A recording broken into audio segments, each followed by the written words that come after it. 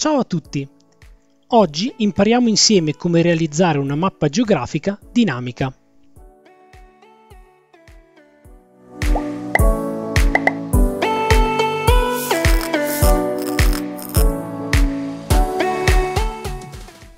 Negli ultimi anni i produttori di circuiti stampati hanno dato la possibilità a costi sempre più accessibili di realizzare circuiti stampati di forme, spessori e colori diversi.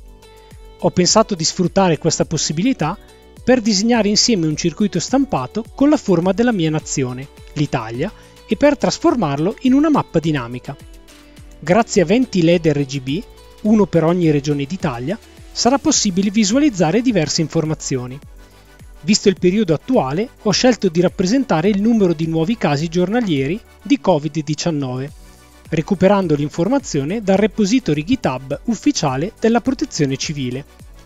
Nella prima parte del video vedremo come realizzare il circuito stampato, mentre nella seconda scriveremo lo sketch Arduino per scaricare i dati da internet e controllare i LED RGB. In descrizione a questo video trovate il link al repository GitHub dove ho caricato tutto il materiale per realizzare il progetto e i link per scaricare i software che andrò ad utilizzare. Per prima cosa dobbiamo procurarci una mappa dell'Italia. L'ideale è trovarla già in formato vettoriale, ma spesso si trovano solo immagini bitmap. Visto che voglio rappresentare le singole regioni, ne scelgo una che abbia anche i loro contorni. Per preparare l'immagine utilizzerò due programmi gratuiti per Windows, Paint.net e Inkscape apriamo l'immagine con Paint.net. Vogliamo realizzare un solo circuito stampato. Le due isole devono essere quindi collegate al resto d'Italia.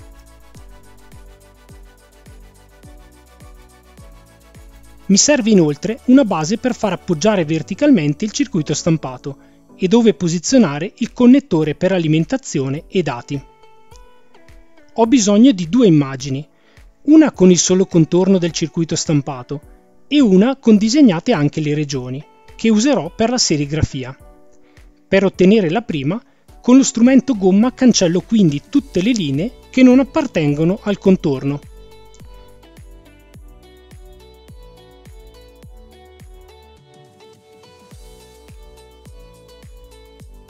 Le due immagini sono pronte ora per essere vettorializzate. Importiamo la prima in Inkscape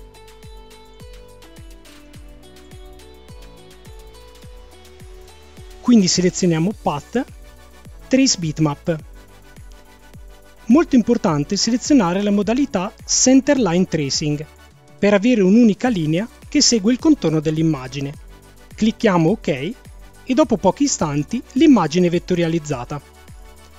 La versione vettoriale è sovrapposta a quella originale. Se spostiamo leggermente possiamo notare le differenze rimuoviamo l'immagine originale e controlliamo il risultato. È molto importante che il contorno sia continuo, senza interruzioni. Possiamo sistemare eventuali difetti utilizzando lo strumento Edit Paths.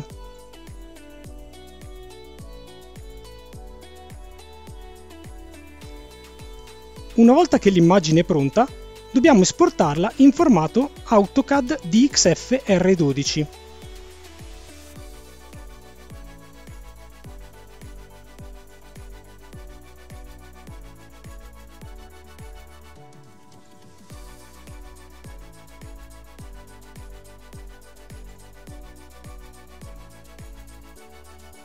Effettuiamo lo stesso procedimento anche per la seconda immagine. Al termine avremo due immagini di XF, una con il solo contorno dell'Italia e l'altra anche con le regioni. Passiamo ora ad Eagle. Creiamo un nuovo progetto e passiamo subito alla board. Selezioniamo il layer Dimension. Quanto disegnato su questo layer andrà a definire le dimensioni del mio circuito stampato. Attiviamo anche la modalità Single Layer, comoda per modificare un layer alla volta. Per tenere i costi bassi, il circuito stampato sarà al massimo di 10 x 10 cm. Per aiutarmi, disegno un rettangolo di tali dimensioni.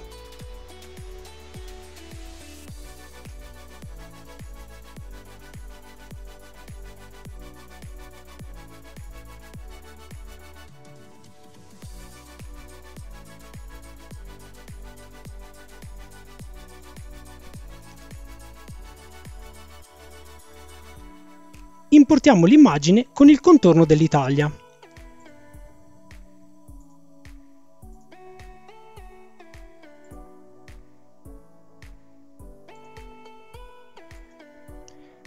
assicuriamoci che layer target sia 20 dimension. Non ho trovato un modo semplice per trovare il giusto fattore di scala. Andando a tentativi ho trovato che il valore 4.3 è giusto per questa immagine.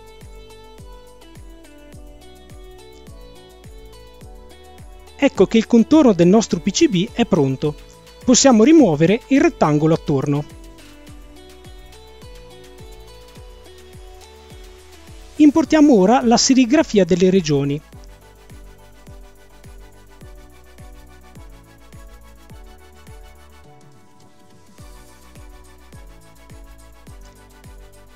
modificando solo il layer che sarà T-Place.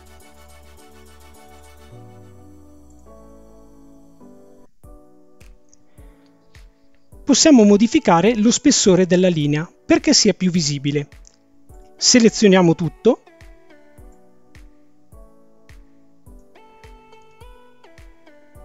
Quindi impostiamo lo spessore a 20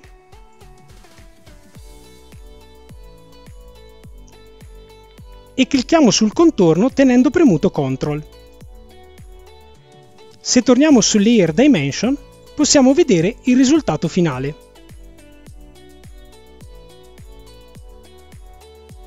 Passiamo ora allo schema elettrico, molto semplice ho scelto di utilizzare dei LED RGB chiamati SK6812 Mini, facilmente acquistabili da diversi negozi online. Questi LED sono molto comodi da saldare a mano, perché pur essendo di dimensioni ridotte, presentano 4 terminali. Aggiungiamo quindi 20 LED collegandoli in cascata, il pin D-Out collegato al pin D-In del seguente. Infine aggiungiamo un connettore a 3 pin per portare al circuito stampato l'alimentazione, 5 volte massa e il segnale data.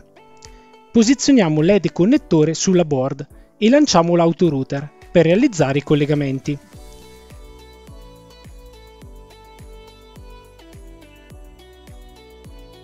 Questo è il risultato finale, pronto per generare i files Gerber da inviare al service che realizzerà i circuiti stampati. Per questo progetto ho utilizzato JLC PCB. Trovo sempre affascinante ricevere i circuiti stampati che ho disegnato. Vediamo ora lo sketch Arduino. Vista la necessità di scaricare dati da internet, ho scelto di utilizzare una scheda Wimos D1 basata sul chip ESP8266. Iniziamo a capire come sono strutturati i dati che ci servono. La Protezione Civile pubblica giornalmente un file in formato CSV, campi separati da virgola, su GitHub. Tale file contiene diversi campi, tra i quali il codice della regione e il numero di nuovi positivi. Iniziamo proprio dal codice regione. Nello sketch ho definito un array con la corrispondenza tra questo codice e il LED relativo alla medesima regione. Ad esempio la regione Calabria ha codice 18 e il LED associato è il quinto. Sempre nello sketch ho creato alcune costanti per i parametri di connessione alla rete Wi-Fi e per il download del file CSV. Il controllo dei LED viene fatto utilizzando l'ottima libreria NeoPixel di Adafruit. Il segnale data per i LED sarà generato sul pin 14. Terminiamo le definizioni con le diverse soglie corrispondenti ai colori verde, giallo, arancio e rosso. Se ad esempio il numero di nuovi casi è superiore a 1000, il LED della regione sarà di colore rosso, mentre se è inferiore a 300 sarà verde. Il metodo setPixelColor applica proprio la logica che vi ho descritto.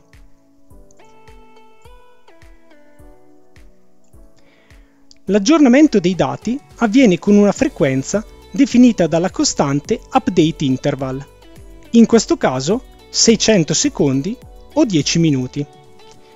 Di tale aggiornamento è responsabile il metodo updateMap. Questo metodo si collega a GitHub e scarica il file.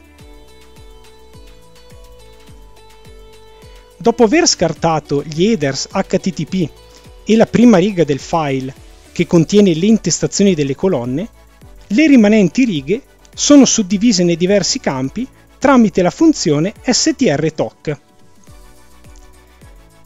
Come visto, il terzo campo contiene il codice regione, mentre il tredicesimo il numero di nuovi casi. Una piccola complessità sta nel fatto che il file contiene due valori per la regione Trentino-Alto Adige. Il codice che vedete serve proprio per sommare questi due valori.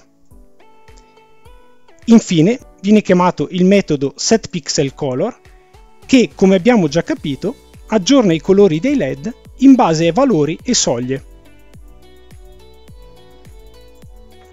Dopo tante parole, proviamo finalmente il progetto.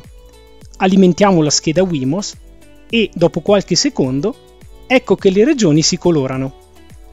Spero che questo progetto vi sia piaciuto. Se vi va, iscrivetevi al canale e attivate le notifiche per non perdervi i prossimi. Grazie per la visualizzazione e buon divertimento!